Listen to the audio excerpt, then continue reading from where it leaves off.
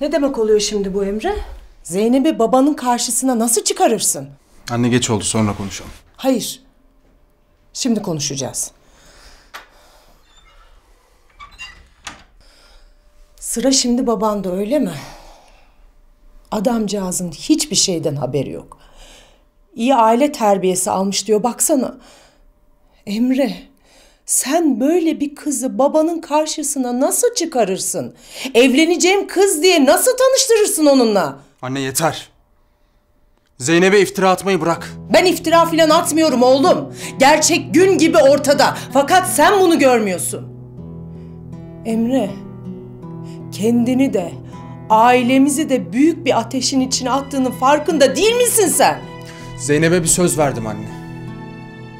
Beraber bir yola çıkacağız dedim. O da bana inandı ve güvendi. Ve ben bu sözümden asla dönmeyeceğim.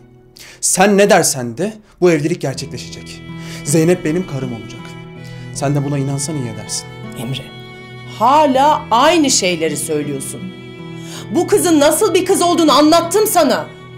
O kız senden başka erkeklerle de para karşılığında geziyor. Bunu iş edinmiş kendini anla bunu artık. Yeter.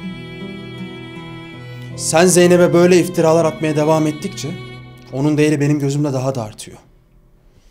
Eğer bu tavrında ısrarcı olursan olacaklardan ben sorumlu değilim.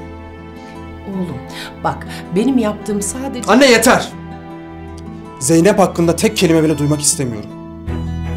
Beni yalnız bırak.